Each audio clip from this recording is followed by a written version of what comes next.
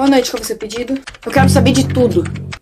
Nesse caso, ou se no painel, tu pega um panfleto, porque é muita coisa. As mais baratas.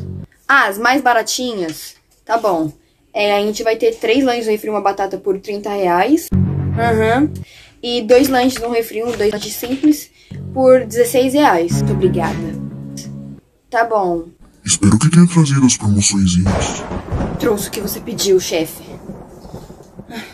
Foi muito arriscado, mas eu consegui. Ah, Toma. muito bem. Aqui. Boa noite, já tem pedido em mente? Eu quero saber sobre os refrigerantes.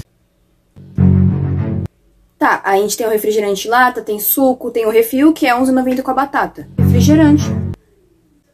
Vamos fazer assim? Fica com a batata e com o refil, pode ser? 11,90? Tá, eu vou colocar lá pra você. Aqui.